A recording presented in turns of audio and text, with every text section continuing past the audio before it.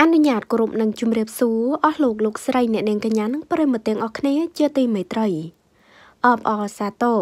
បែកខណ្ឌរីកម្ពុជាលីវជីលីទទួលបានពានរង្វាន់ Country Choice of the Year ពីកម្មវិធី Miss Grand International 2020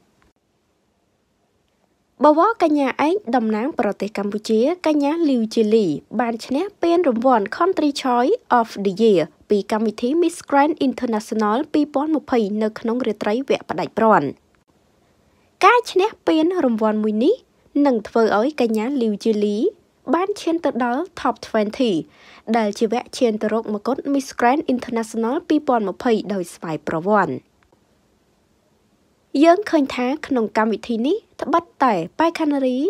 កម្ពុជាមិនបានទទួលពានរង្វាន់ឈុតតំណាងជាតិល្អបំផុតក្តីដែលអ្នកគ្រប់គ្រងកម្ពុជារីករាយនិងមានមោទនភាពចំពោះកញ្ញាលាវជាលីសម្រាប់ការធ្វើដំណើរយ៉ាងស្វាហាប់ជឿជាក់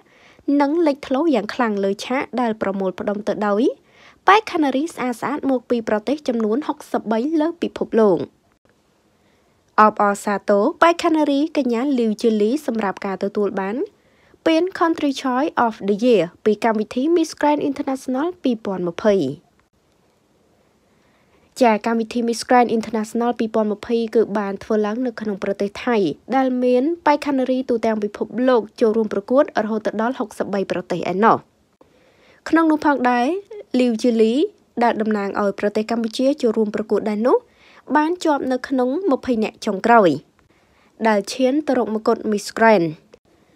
ទោះបីជាលទ្ធផលបែបណាយើងក៏ទទួលយក